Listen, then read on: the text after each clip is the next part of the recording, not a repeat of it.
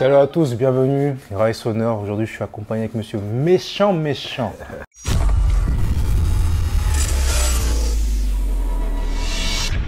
Madrad, comment Comment on est là La forme On est là, Hugo. calmement Ça bouge pas, calme-toi. Ça fait plaisir de te recevoir. J'aimerais vraiment revenir avec toi sur ton parcours Ouais, en tant que membre du, du- du gang Charo. ouais, exactement. Est-ce que tu peux te présenter un peu, Madrad Bon, moi, c'est Madran, membre euh, du groupe ou du collectif Charo. Et j'habite à Évry, Grigny. Et voilà, je viens du chantier du Côte. C'est quoi le Charo Gang? Le Charo Gang, Ouais. on va dire à la base, Charo, c'est une expression, on va dire, euh, dans la rue, Mhm. qu'on on emploie souvent, on va dire, pour le vol ou pour, euh, on va dire, gérer des meufs. Ou, T'es un Charo. Tu vois, peu importe. Tant qu'on va dire, euh, tu fais tout pour avoir euh, cette chose-là, bah, t'es un Charo. Ouais. C'est-à-dire, on a fait, on s'est regroupés, on faisait des petits freestyles pour rigoler. Et c'est sorti tout seul. Tu vois, on a, fait- on a essayé de trouver un refrain et d'un coup, on a dit, ouais, à Charo, à Charo. ouais. Après, on s'est blasé comme ça, des Charos. Il y a qui qui est. le... bah, L'équipe est composée de qui en fait? Ben, L'équipe, elle est composée de, on va dire, de base, bah, on va dire, on a notre star, il y a. Niska. Après, il y a moi, il y a Briggy Stone, et il y a Trafic, Trapulingo, et Rako. Et voilà, le groupe, en fait, euh, on est cinq, on va dire, c'était un collectif, c'était une bande de potes, qu'on a commencé comme ça. Et après, ben, ensuite, après, euh, on va dire, l'avenir a fait que, voilà, chacun s'est séparé, on parle pas séparé, mais... Chacun a fait sa petite route Voilà, de, quoi, de son côté. problèmes, l'autre a eu des problèmes, l'autre a eu des problèmes. Et tu vois, en ce moment, bon, maintenant, on, on se réunit, on essaie de se réunir. Ouais. Et voilà. Comment est né ce freestyle, ce fameux freestyle Mathieu du Charo Mathieu Charo, franchement, la vraie, vraie vérité. La vraie, vraie vérité. Bah, comment on a commencé ça En fait, un jour, on était, bah, c'était notre premier, premier showcase. Ouais. On devait aller où Je me rappelle, c'était à Lille. Euh, non, à Bordeaux. Ouais. Excuse-moi, à Bordeaux. Et vas-y, on était parti là-bas, tout ça. C'est-à-dire quand on était euh, dans la chambre de, de l'hôtel, là, Ouais. on attendait, on va dire, on attendait le show. C'est-à-dire, on était posé. Après, ensuite, on va dire, il y avait Niska, il était au téléphone. Ouais. Et on voit, il revient en criant. Il dit, ah les gars, voilà, devinez qui m'a appelé. On dit, ouais, je quoi. Et maintenant, il dit, ouais, il y a le manager Amatidi, tout ça, il m'a appelé, il a dit, il voulait un pull pour faire la pub, tout ça, nanana. Et on va dire, nous, on écoutait l'instru, on répétait comme ça. Et moi, dire, moi, d'un coup, tu vois, juste comme ça, j'ai dit, hé, Matidi Charo. Mais tu vois, j'ai dit ça comme ça. Après, je dis attaquant au milieu, meubler la défense, tu vois, on était Ouais. contents en fait, tu vois. Mm. Et en même temps, on va dire, par exemple, on écoutait l'instru, et pendant que je disais ça, on va dire, ça a collé avec l'instru. Ouais. Après, il disait, oh, venez, on fait le son, Matidi Charo. gars était parti comme ça. Et moi, je dis, mais non, ouais, je vois. Ouais, je ne vais pas faire Matidi Charo, attaquant au milieu, c'est un truc de gogol, tu vois. Ouais. Il dit, non, non, non, non. C'est-à-dire, ça a fait une réunion, tu vois. Après, ils ont dit, soit ça passe, soit ça casse. Moi, per- personnellement, moi, j'étais. J'étais pas pour, Ouais. ni contre, mais. Tu t'en foutais en fait. En fait, je me disais, non, c'est un truc de gogol quand même, Ouais. tu vois. Et ils étaient sur deux, après, vas-y, on l'a fait. Et Et au final, c'est celui-là qui nous a propulsé. a mis- propulsé, vous a mis devant la lumière, tout ça. Voilà, c'est non, c'est le- celui-là, franchement. On était choqués. hein. Moi, personnellement, j'étais choqué. Ouais. Je me suis dit, non, pas celui-là. Il y en avait des autres. Tu vois, je disais, ouais, celui-là, mais pas celui-là, tu vois.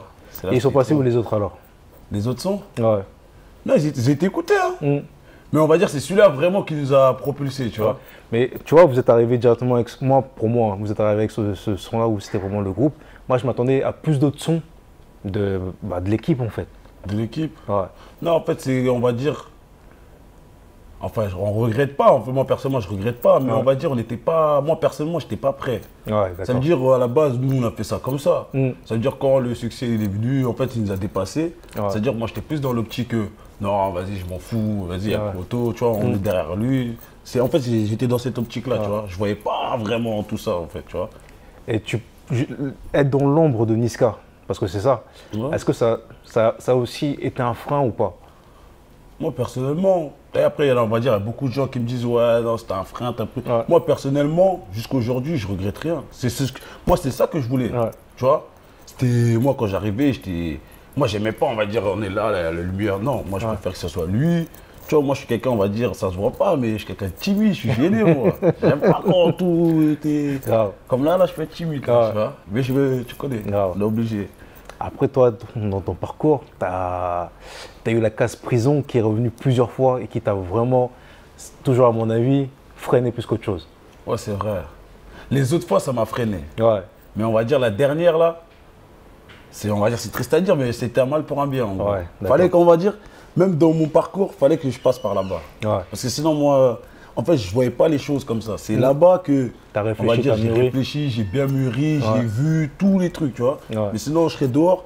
En fait, je pouvais pas voir. C'est-à-dire, j'étais là, j'étais Mm. gauche-droite. C'est-à-dire, j'étais même pas conscient. Ouais. C'est là, là, le recul, là, ça m'a fait du bien, on va dire. Et la scène où tu te fais, euh, tu te fais contrôler euh, à la fin de ton clip, c'est une vraie scène ou c'est vraiment. euh, Non, c'est une vraie scène. c'est suite à ça justement que. Ouais, voilà. C'est pas, c'est pas pour ça que je suis béton, mais c'est à cause de ça. Grave. Tu vois? En fait, c'est. Voilà, je sortais, je venais de sortir de semi. Ouais. Je venais de sortir de semi en 2017. Ça veut dire, là, je me suis dit quoi? Là, faut que, on va dire, euh, je fais les choses sérieux. bien, là, en mode sérieux. Mm. C'est-à-dire, j'ai essayé de faire les choses bien.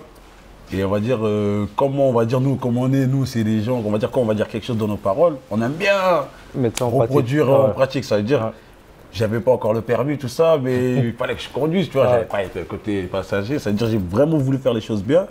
Et au final, euh, direct, la dernière scène, je me Péter. péter. J'avais trop la rage. Ah ouais. Mais bon, fallait, fallait passer par là-bas. Mais ce qui était bien, c'est que même pendant cette période-là, ton, ton frérot, il a toujours été derrière toi, tu vois. Euh, quand tu voyais ses snaps, euh, dès que tu faisais des vidéos, il balançait tout ça. Il a toujours été derrière toi par rapport à ça.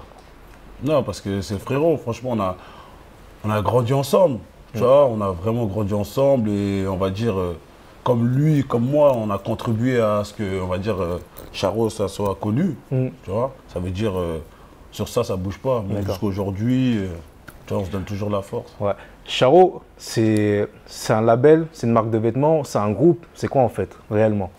En fait, Charo, c'était un mouvement, en fait. À la base, c'était un mouvement. Ouais. Après, ça veut dire comme on rappait à 5, bon, on a dit c'est un groupe. Ouais. Tu vois, mais en vrai des vrais, c'était pas un groupe où, tu vois, chacun, on, on poste faisait vraiment défini. les sons. Tu vois, en fait, à la base, c'est chacun fait ce qu'il veut, il est indépendant, mais on rappait ensemble pour se donner la force, tu vois. Ouais. Après, Charo, c'est devenu bah, une marque de vêtements, c'est devenu un label, Mm. c'est devenu, en fait, c'est devenu tout. D'accord. Et toi, par rapport à ça, tu te situes où? Dans, dans, dans le- label ou euh, Non, moi, on va dire, moi, je suis plus, euh, je, je représente euh, l'image. D'accord. Tu vois, on représente l'image, c'est. On va dire, on est ensemble, euh, moi j'ai fait mon truc, euh, tu vois, alors que, tu vois, Mm. Ouais. on va dire, moi je te booste, tu vois, c'est plus ça, tu vois. Après, Charo, c'est nous tous, tu vois. Mm. C'est, voilà. Revenons un peu sur le côté rap. Là, depuis que tu es, de retour, t'as- tu fais que balancer. Comment tu. Quels sont les retours des freestyles et clips que tu as balancés là? Franchement, les retours ben, sont plutôt positifs, tu vois. Après, il y a des, des retours négatifs, ça c'est sûr, mais on va dire, là, pour l'instant, ça avance. Ouais. Tu vois, c'est. On m'avait jamais vu, on va dire, autant balancer ou être à- présent ou Ouais. actif sur les réseaux. Mm. On va dire, avant, j'étais plus, euh, tu vois, j'avais même pas de téléphone tactile. tu vois, des fois, je devais, on, me- c'est- on me Ah. forçait, moi, c'est Ouais. on me. Ouais, fais Snap, fais Insta. J'ai dit, ouais, je peux pas, fais, fais, fais. Mais En fait, toi, c'était le côté euh, street ghetto de, de l'équipe en fait. Quand on te voit, on sort la rue. Ouais, c'est d'après ce qu'on me dit, tu vois. Nous, on veut quitter la rue. On veut plus sortir la rue. Et là, justement, comment ça se passait la suite pour toi Là, la suite, franchement, on est, on va dire, on est sur un projet. là Ouais. Là, je suis plus euh, sur un retour. On va dire un retour, euh, la visibilité, faire monter, on va dire, euh, le buzz, tout ça. Je suis Ouais. plus sur ce style-là. Et une fois qu'on va dire, euh, j'ai fait euh, monter l'engouement, il y a l'engouement, Mhm. ben là, je pourrais sortir, un- on va dire, un projet. Ouais. Le, la crise qu'on traverse euh, actuellement par rapport au, au Covid, est-ce que ça t'a mis un frein un peu, toi? Ouais, franchement, c'est une crise terrible. hein. Ouais. C'est à tout le monde même. Mm. En fait, ça a été un truc inédit. C'est même pas, on va dire, qu'en Europe ou qu'en France ou qu'en Afrique, ça a Mm. été un truc, ben, on va dire, mondial. Ouais. Et personne n'était préparé à ça.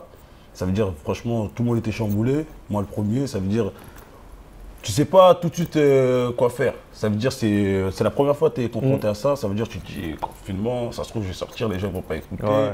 Ah, mais si, mais attends, les, les gens sont chez eux. En fait, ça pose trop de questions. C'est justement par rapport à ça que je te, je te demandais ça. Est-ce que toi, tu as profité justement de cet instant où étais, on pouvait rien faire pour écrire, pour avancer sur ton projet ou... Ouais, franchement, ouais.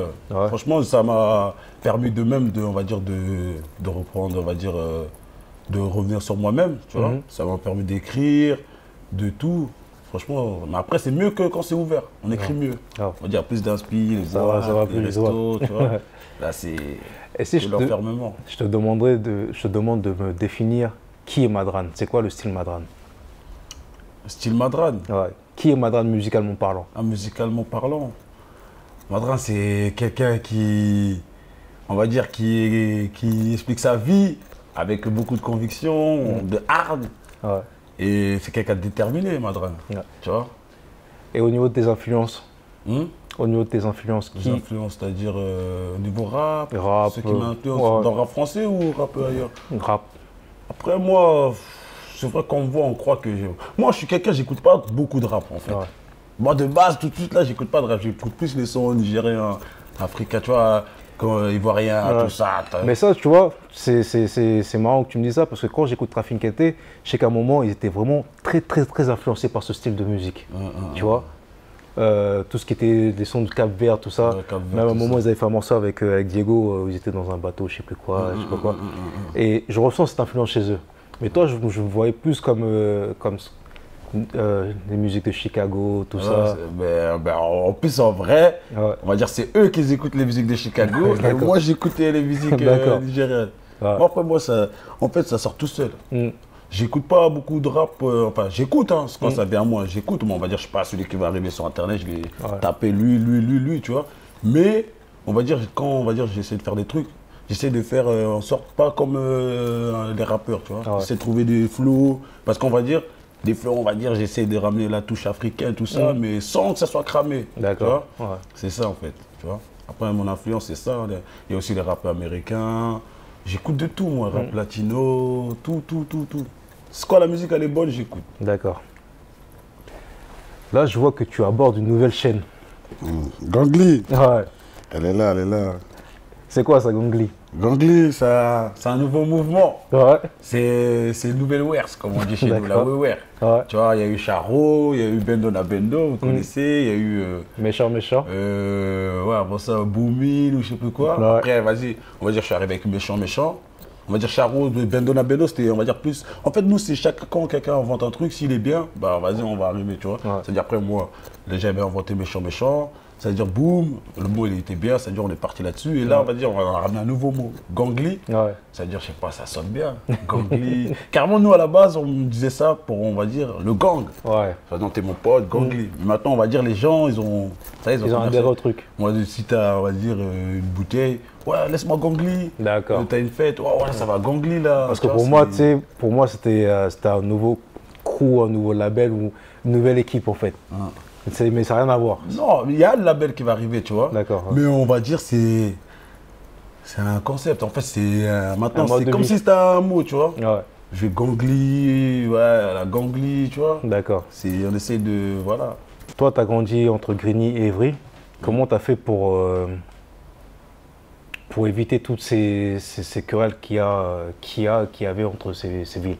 Ah, franchement, je te cache pas, des fois c'était relou parce que, on va dire, euh, il y a ton quartier d'enfance où il y a toute ta famille, tes demi-frères, tout ça, et on va dire, il y a ton quartier, on va dire, euh, devenu natal. Ça y est, t'es t'es installé. Je suis un gars d'Evry, mais on Ouais. va dire. Après, voilà, j'essaie de gérer. Mm. On va dire, euh, on après, j'ai des amis à moi, on va dire, on se respecte. Tu vois, Mm. quand par exemple, si je suis avec un gars d'Evry, on va dire à Grigny, bah, ils savent que si je suis avec lui, c'est un bon gars, c'est pas ouais. un gars qui va venir, tu Ouais. vois, et ainsi de suite. Grigny, peu, tu vois, peu importe. Par exemple, si je vois des gars d'Evry, on va dire, ils veulent faire, euh, ils veulent euh, se battre avec des gars de Grigny ou ils seront pas bah, automatiquement, je vais venir, je vais séparer. Même si Mm. Le gars de Grigny, je le connais pas, Mm. ça va être automatique. Ou euh, si je vois un gars de Grigny, des gars de Grigny, ils veulent faire, on va dire, des gars d'Evry, automatiquement, je vais venir, je vais, je vais parler, je vais séparer. Mm. Ouais. Est-ce que tu penses que cette mentalité, ce côté bagarre qu'on a dans le 91, au niveau musical, ça, ça, ça- Ça va nuire. ouais, ça nuit et il n'y a pas l'unité qu'il devrait y avoir quand tu vas, par exemple, dans les autres départements ou dans les autres villes Mm. Non, après ça c'est vrai. Mais en fait, dans le 91, franchement, ça peut se faire. Mais il faut juste, on va dire, une bonne tête là qui, qui se met dans ce projet. Franchement, ça va le faire. Parce que j'ai vu les gens, ils ont, ca- ils ont capté un peu, tu vois. C'est Mm. plus comme avant, tout ça. Si, on va dire, on va dire avant, c'était encore plus chaud.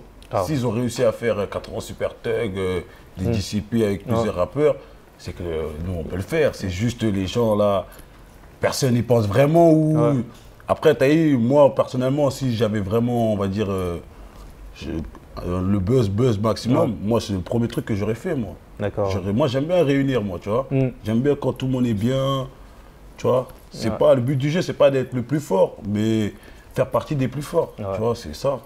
Et quand tu vois par exemple qu'aujourd'hui les têtes d'affiche du, du rap français sont principalement des gens de chez de, de- du 91, 91, ouais. qu'est-ce que ça te fait comme effet? Moi, ça me fait grave plaisir. Ouais. Moi, ça, ça me réjouit de voir, on va dire, euh, enfin, tu vois, des mecs de cité, peu importe, hein. Mm. peu importe la couleur de peau ou peu importe euh, ce qu'il fait ou d'où il vient ou quel quartier. Mm. Quand je vois, on va dire, un mec de cité, on va dire, euh, je me ressens, moi, tu vois. Et quand je vois, il commence à s'en sortir, ça pète, Mm. tu vois, l'argent, elle rentre vraiment. Bah, tu peux que être heureux. Tu vois, si tu es un vrai gars, tu peux que être heureux. Parce que tu te dis, bah enfin, au moins, il y aura des mecs de cité, des banlieusards qui vont sortir de la merde un peu. Pas peut-être, même si on le connaît pas, mais au moins il va sortir de la merde, lui et son entourage. Mm. Tu vois, ou deux, trois gars, lui, tu vois, ça peut que faire plaisir. Trois de moins dans le ghetto, c'est bien Ouais. quand même. Qu'est-ce qui t'a manqué toi pour euh, à part le côté euh, tes passages en, Ouais. en prison pour euh, être sur le devant de la scène réellement? Confiance en moi. Quand je... En fait, je suis quelqu'un, j'ai confiance en moi. Mm. Mais en fait, je suis pas un forceur, moi. D'accord. Et moi, je suis quelqu'un, je suis lucide. Mm. Ça veut dire. euh, Ce qui m'a manqué réellement, c'est la détermination et euh, la continuité. Parce que moi, je suis un gars, je- on va dire, je vais sortir un son là, Ah. six mois après, je vais sortir, un an après, je vais sortir, tu vois. C'est pas. Ah. En fait, t'as pas t'as pas pris le rap au sérieux jusqu'à présent en vrai. Ouais, voilà, exactement. C'est pas que je l'ai pas pris au sérieux, parce que je savais que c'était sérieux. Mais, en fait, moi, je suis quelqu'un, on va dire, quand je voyais mon, on va dire, mon ami, Niska, mon pote, quand je le voyais, on va dire, euh, il allait par, on va dire, on marchait, tout ça, quand je voyais lui, il pouvait pas marcher, limite, tu peux pas sortir sans que... Et moi, ça, c'est pas. pas, c'est pas que j'aime pas, ça me fait plaisir. Ouais. Mais moi, j'aime bien quand j'arrive, je suis, tu vois, il y a tout le monde est là, il y a, tu vois, c'est pas alors, ah, tu vois, j'aime pas quand il y a tout, tout tu ça. vois, c'est-à-dire, je me dis, ah ouais, c'est une dinguerie ça, tu vois. Ouais. Moi, j'aime bien quand je marche, je suis en mode bangs, Ouais. tu vois. Là, c'est mais après, maintenant, comme on dit, c'est obligé, ça fait partie du jeu. Par exemple, tu me parles de Niska. Est-ce que, pour te comparer à lui, est-ce que lui, il était beaucoup plus impliqué dans, dans, dans, dans, dans le rap Bah oui. que, que toi, par exemple? C'est-à-dire que lui, toi, tu allais faire un bail, il disait non, vas-y, moi, faut que j'aille au studio, faut que Non, j'écrive. mais lui, il savait déjà. En fait, Ouais. lui, il avait. Lui, il avait capté que nous, on n'avait pas. C'est pas qu'on n'avait pas capté, on avait capté. Mais euh, moi, personnellement, je m'en foutais, en fait, tu vois. Ça Mm. me suffisait. C'est comme si, on va dire, moi, j'étais tous les jours là, devant le bâtiment. On est là, on faisait nos trucs. Mm. Et du jour au lendemain, je sais pas, on te paye les billets. Euh, première classe, tu voyages partout. Mm. Euh, en plus, on te paye plus du SMIC euh, tous les week-ends. Alors que de base, tu fais même pas ça. Quand tu vas en boîte de nuit, c'est toi qui payes. Là, on te paye. Mm. le vigile, il- même en short, tu vas en short, tu rentres. C'est-à-dire, moi, dans ma tête, je me dis, ouais, mais Grave. moi, je m'en fous. Tous les week-ends, il y a ça. C'est-à-dire, je m'en bats les couilles, moi, tu vois, on y va, ta, ta, ta, ta, ta. Mais en Mm. fait, moi, je voyais pas ça comme ça, tu vois. Lui, il avait déjà vu. Parce que lui, il rappait déjà. Ouais. Tu vois, lui, il rappait déjà, il savait déjà où il veut aller. C'est ça le truc. Et maintenant, est-ce que tu sais où, tu, où est-ce que tu vas aller? Ouais, franchement, maintenant, là, on... Ouais. c'est un peu plus clair. C'est un peu plus clair. Ouais, tu connais, là, faut qu'on mange aussi. faut qu'on mange. Là, on va essayer de d'avancer. Hein. Et tu me parlais justement aussi de, de, de te lancer vraiment en solo, en créant ta propre chaîne YouTube, etc. Ouais, c'est en fait, j'ai j'ai créé ma, ma propre chaîne parce qu'en fait, de base, on va dire, on avait la chaîne du groupe. Ah ouais. C'était.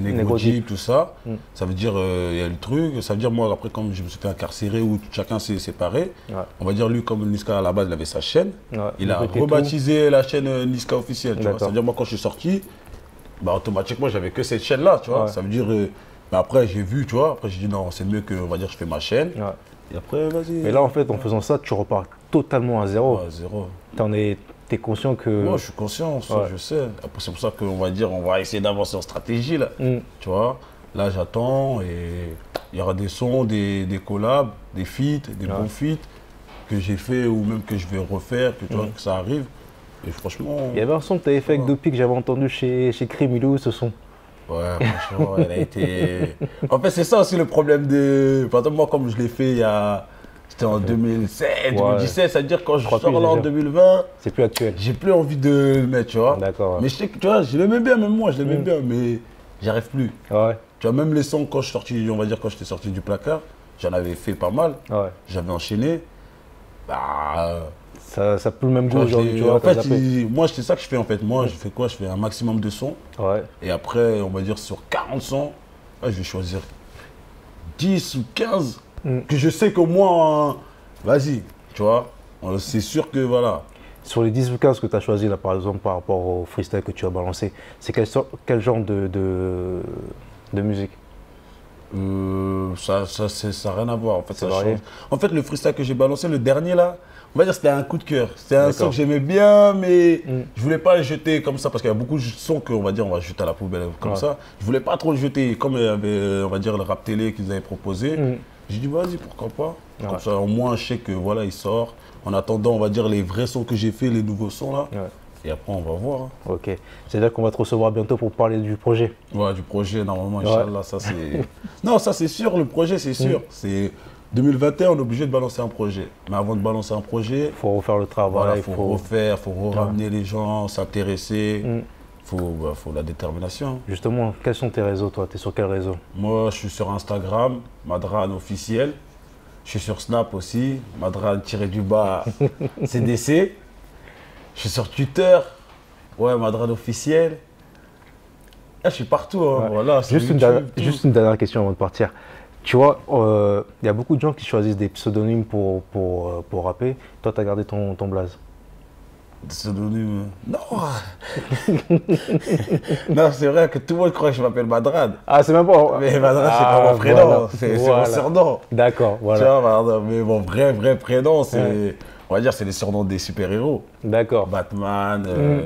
Spider-Man, euh, Superman, Ousmane, Madrad. tu vois, c'est c'est- c'est les, bah, c'est les prénoms des super-héros. Ok, ça marche. C'est-à-dire, c'est bon. Le mot de la fin, je te laisse le mot de la Le fin. mot de la fin, bah. Croyez en vous. Franchement, peu importe ce que vous faites, croyez en vous, rien n'est impossible, il faut juste la détermination. Et voilà, c'est Gangli, c'est méchant, c'est Madran, tu connais déjà. Merci beaucoup, frérot. Ouais, pas de souci. Merci à toi.